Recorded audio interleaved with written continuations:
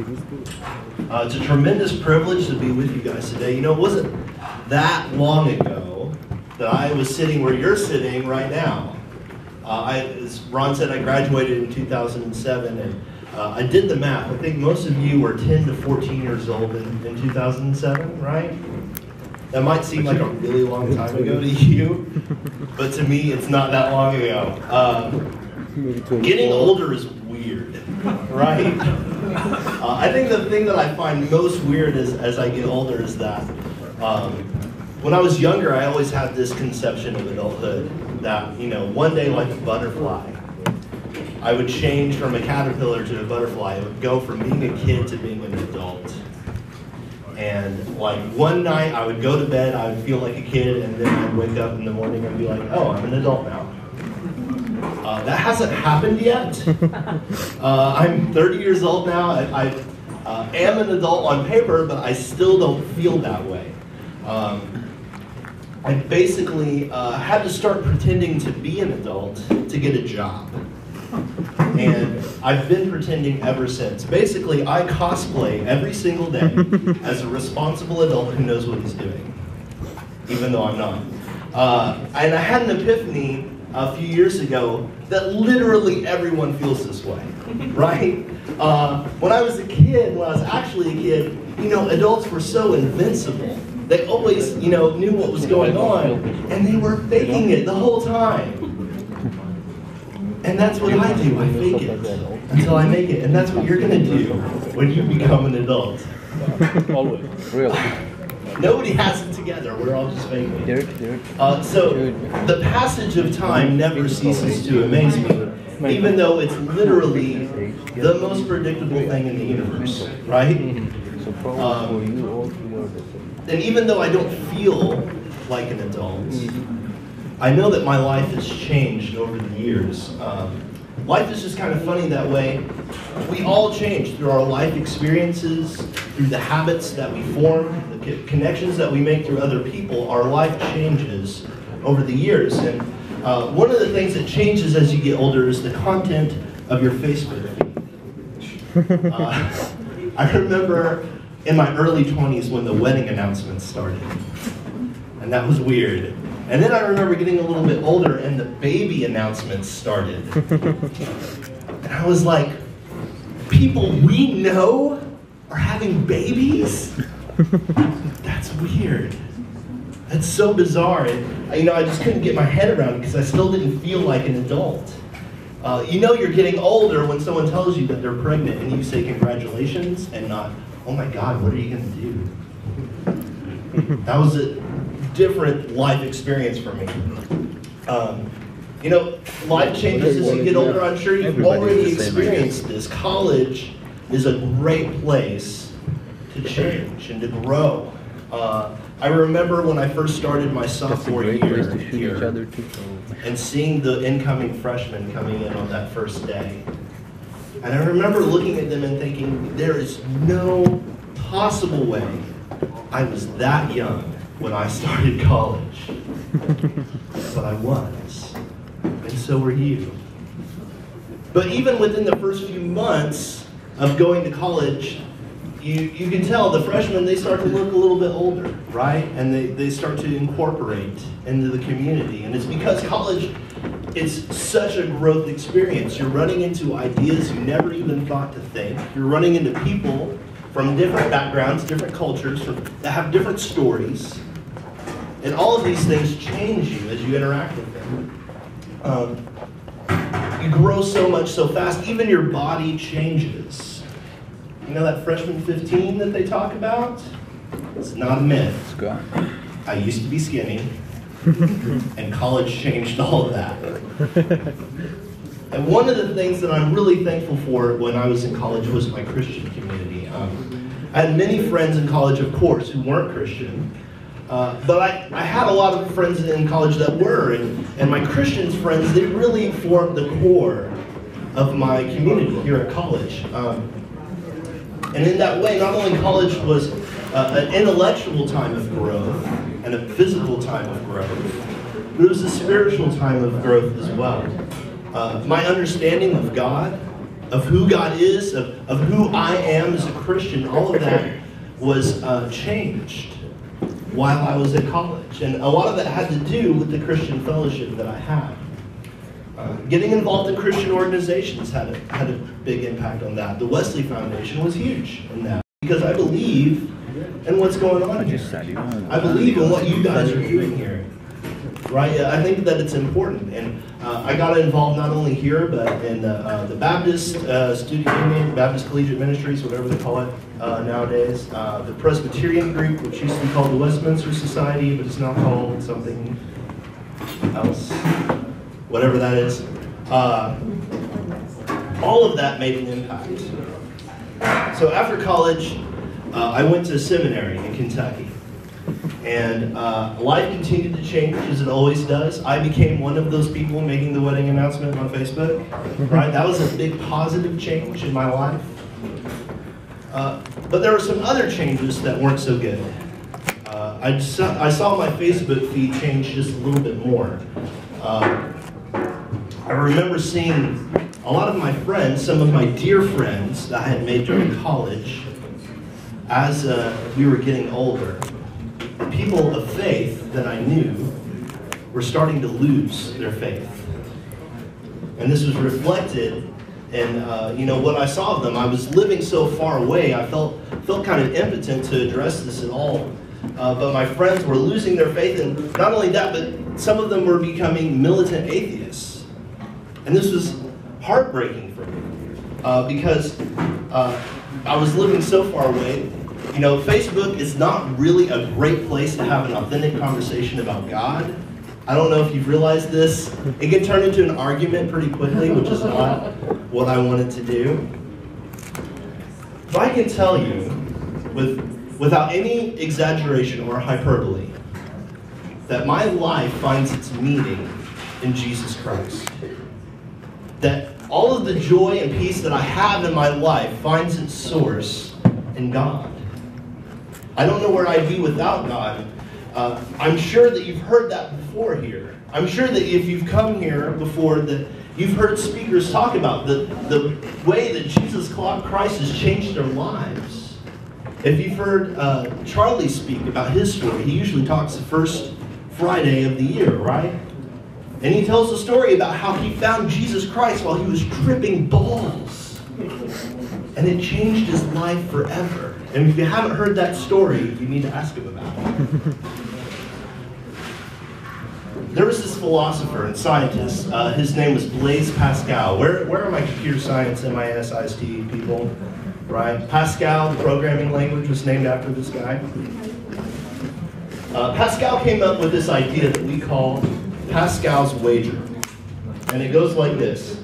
He said that even if there is no God, even if God doesn't exist, then a life lived within faith is objectively better than a life lived without.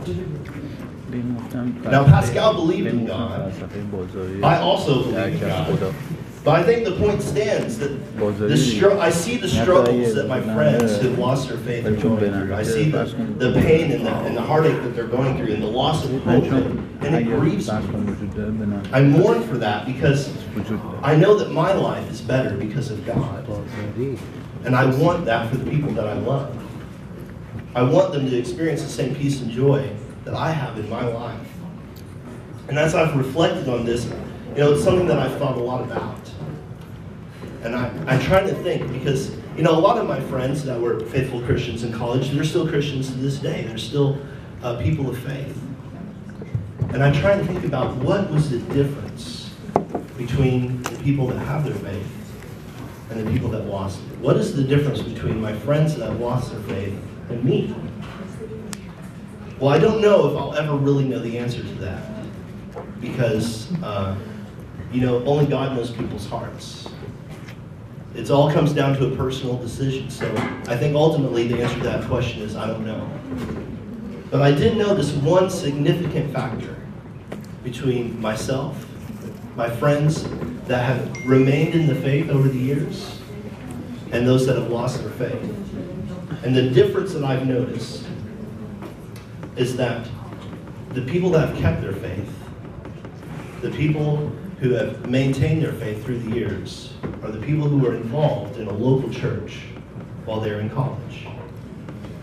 Uh, now, going to church is something that's not a priority for a lot of college students, and that's something I totally get. Because when I was a freshman and that alarm went off on Sunday mornings, I had a decision to make. I could either go to church or I could sleep until 2 p.m. And 2 p.m. won a lot of those battles, right? Uh, you know, in college you're so busy, there's so much going on all the time. It's impossible to get bored in college, right? Um, I even think about, uh, uh, excuse me, I just lost my place.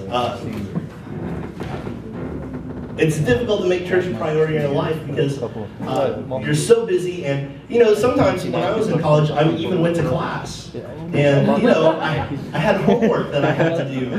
That, and, and you know Friday, as soon as Friday noon lunch was over, I went back to my dorm room and I did my homework. Right? No, it always waited till Sunday because who's going to do that, right? Uh, it took me a while to realize the importance of that, and it wasn't until I got plugged into a church that felt like home that I was finally able to realize the benefit that church could provide for me, and I realized the, the benefit that it could have in my spiritual life. And I'm thankful to past me for making that decision because being a part of that church has made me who I am today. No. Uh, so we need church. We need church in our lives. We need it for one thing is because God made us people who long to be with each other. When God created us, he, uh, when He made the first person, He said, It is not good for this person to be alone. So He made another person. It says that God made us in His own image. And if you think about God, God is Himself a community Father, Son, Holy Spirit, right? Three persons in one a community, being together, being relational, is intrinsic to who God is. And when we were made in His image, that became part of who we are. We long for each other. We need each other. We're not meant to live in isolation. We desire community in our lives. Now, obviously, you can get a community right here at the Wesley Foundation, right? Or the BCM or the Presby Group or wherever else. There's lots of community to be had on a college campus. But it's not the same because every person who's here at the Wesley Foundation this morning is associated in some way with TU, right? But when you go to a local church, you're going to find a lot of people that have a non-college experience, a non-college uh, point of view. And that's important for us to have because we can learn so much from them. We can get outside of that TU bubble and learn so much from people that are older than us, that have had different life experiences, that have wisdom to pass down to us. And that's important. Um, what's more is the Christian community here at TU will only last for as long as you're in college. Right? I think a lot of my friends, they felt like they were getting so much Christian community just in their social group, they didn't see a need to go to church. And what happened was, as soon as they graduated, they no longer had that Christian community. And they were in isolation. Their faith was in isolation. And because they had never developed the habit of going to church, that wasn't part of their lives. It wasn't intrinsic to them because our habits end up defining who we are. What we do every day, from day to day, that becomes who we are, what we really think is important, right? And because they had never developed that, they had lost that Christian community as the moment that they graduated from college. Um, faith in isolation can't survive because when your faith is in isolation, it makes it really difficult when doubt comes. And doubt will come. Struggle will come. And that's okay. If you don't believe that it's okay to, to have some doubt and have some struggles, read the book of Ecclesiastes in the Bible, and you will find a person who's struggling with his faith in God and struggling with his place in the world. We all do it, but we're not intended to do it alone. We're intended to do it in community with people that can help us, that can help us find our way when we struggle. And finally, not only are we built for community with each other, but we're built for communion with God. Uh, in the Methodist tradition, we talk about something called means of grace, right? This is like prayer, reading your Bible, fasting, uh, helping the poor, etc., etc. These are not things that makes God loves love us anymore, right? Because God loves us all the time, 100%. But these are things that we can do to help us tap in and tune in to God. Things that we can do to experience God's grace more fully. And a big part of experiencing God's grace is corporate worship and Holy Communion. And a great place to get that is in a local church. Uh, I really want you to listen to the wisdom of someone who's a little bit older, even though that's weird, who can reflect back on what church has done for me in my life and my faith. That not only have I grown older, but I've grown in Christ because I've had that community, because my faith has not been in isolation, because I've had that group that helped me. And what that's what I want for all of you. James 4 8 says that if you draw near to God, that God will draw near to you. And that's what I want. I want as you grow older, that you would also grow in Christ and grow in your faith. Uh, and the church needs you. We need you so badly. We need your talents and your perspective and what you bring to the table because God made you a unique creature and He made you to be part of the body of Christ. He made you to have an important role to serve, that, to be part of that united body, and, and we need you. Now, I'd love for you to come to my church, First United Methodist Church in Claremore, 1615 North Highway, just up the road from RSU. Feel free to come by. I'd love for you to go to a Methodist church, like University Methodist, which is right down here. The pastor is literally sitting right there. You can talk to him. but what I really want for you is for you to find a church. what I really want for you is for you to find a church that you can call home. A place where your faith will not be in isolation. A place where you can grow in Christ. And so that's my story. And uh, I, I hope that you can learn from freshman Stephen, who slept until 2 p.m., that while that is an attractive option, oh so many times, uh, you know, making that habit, making it internal to you, making that part of who you are, uh, is so important to growing in Christ. Thank you guys.